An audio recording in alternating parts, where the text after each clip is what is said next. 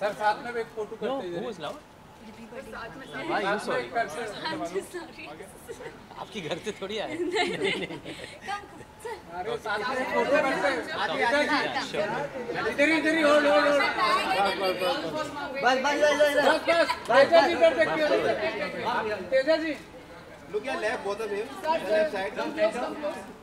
Left together Towards your left, towards your left, left, left. इधर इधर।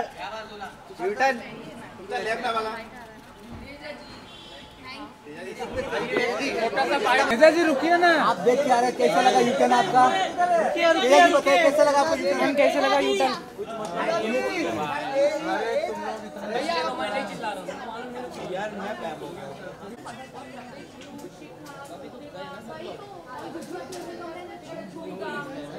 पड़ेगा। एक छोटा सा। रुक जाओ ना। एक छोटा सा फुटेज लेने बस हो गया